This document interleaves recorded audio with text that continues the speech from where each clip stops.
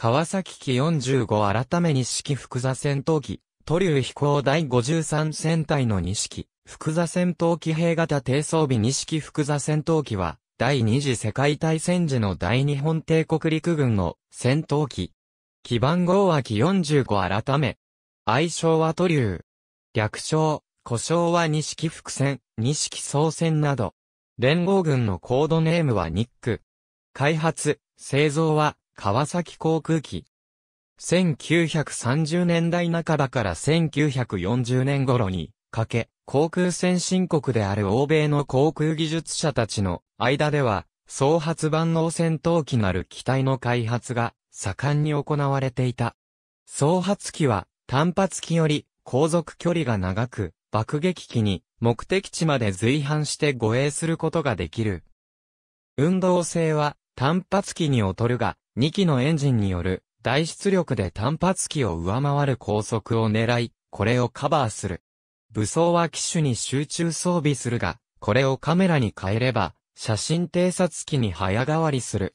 大出力と大柄な機体により、搭載力が大きいから爆撃機ないし攻撃機として、多くの爆弾やロケット弾を積むことができる。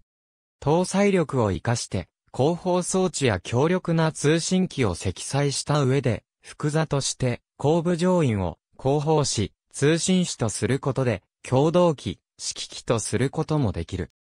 結果、一機種で戦闘、爆撃、偵察、指揮など何役もこなせる効率的な機種として、P-38 ライトニング、メッサーシュミットボーイフレンド110やポテ631といった機体が次々と現れた。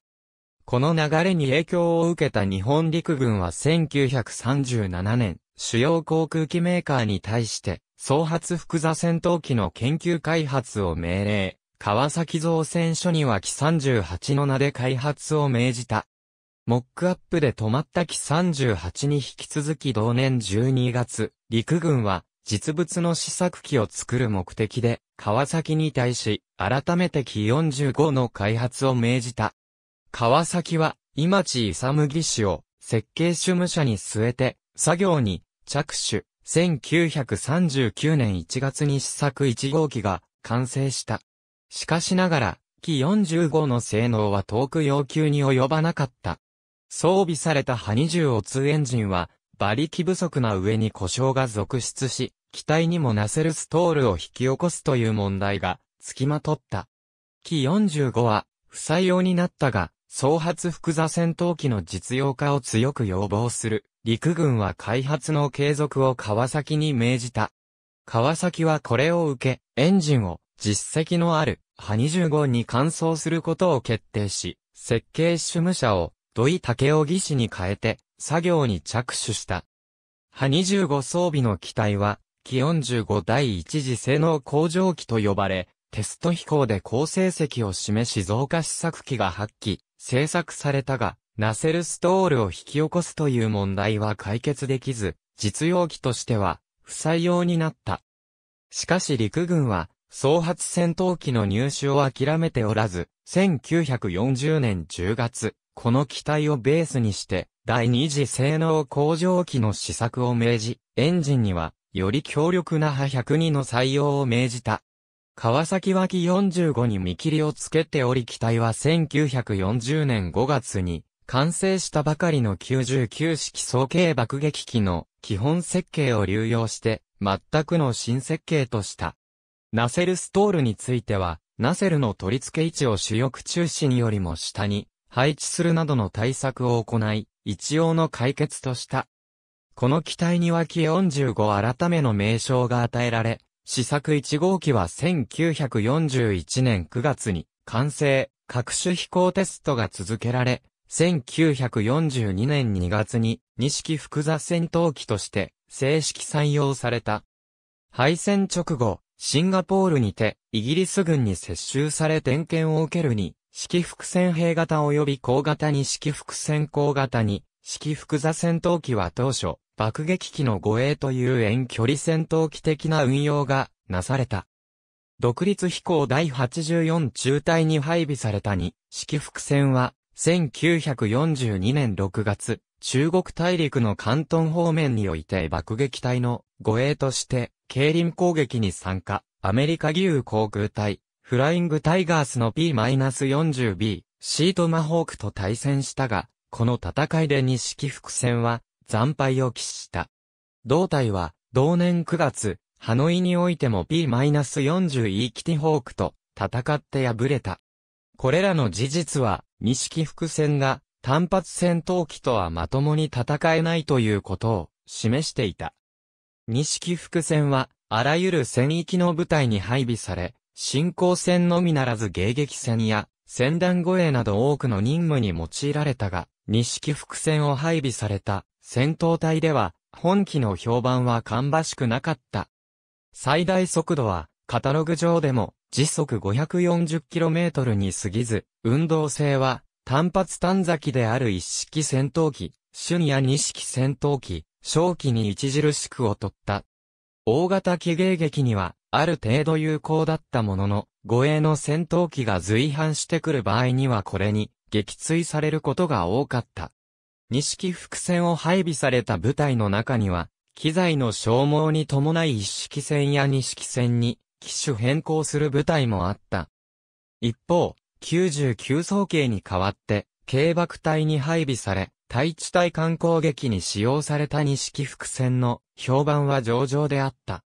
対地、対艦用に、砲 203-37mm 機関砲1門を装備した兵型を受領した一部の部隊では西総発襲撃機とも呼ばれた。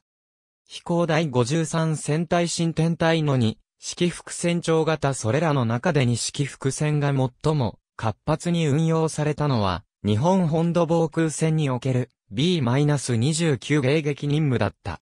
西伏線は日本本土の防空部隊にも配備され、1942年4月の同リットル空襲の際には出撃したものの快適できずに終わった。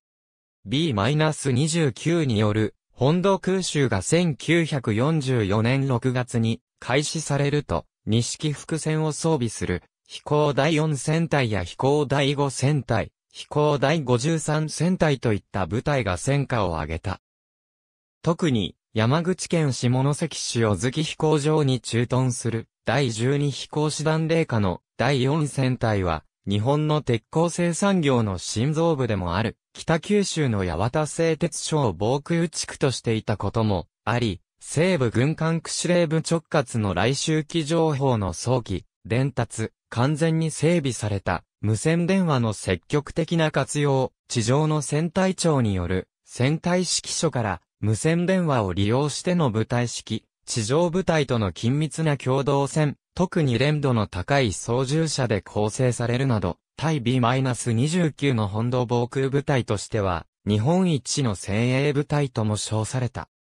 それらの準備は実戦においても活かされ、B-29 の日本本土発爆撃となった1944年6月15日から迎撃戦に参加し、最多 B-29 撃墜用となったカシーデイサム隊を筆頭に、多くのエースパイロットを輩出し、以降終戦に至るまで連日出撃した。しかし、高性能の B-29 を撃墜するには、速度、上昇力、高高度性能すべてが不足しており、有効な攻撃をかけることは難しかった。そのため、体当たり攻撃専門の空対空特攻隊が一時、編成された。通常攻撃の機でも体当たり攻撃は頻繁に行われた。1945年になり、アメリカ軍が戦術を変えて、夜間無差別爆撃を行うようになると、西木伏線は、機種の大口径砲と、上向き砲を活用して、戦火を報ずるようになるが、レーダーをはじめとする、電波兵器を持たず、地上からの誘導と目視に頼らざるを得なかったため、ドイツ空軍の夜間戦闘機のように目標の位置や進路を正確に補足するということができず、出動の空振りや戦火誤認が多く発生した。レーダー装備の実験機は試作されたものの、実用化の域に達しておらず、実戦に使用することはできなかった。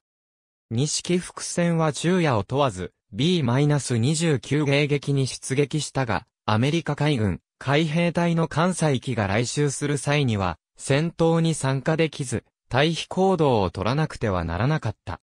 1945年4月に洋島が陥落すると、アメリカ陸軍航空軍の P-51D が B-29 に随伴するようになり、本機の昼間活動は封殺されてしまった。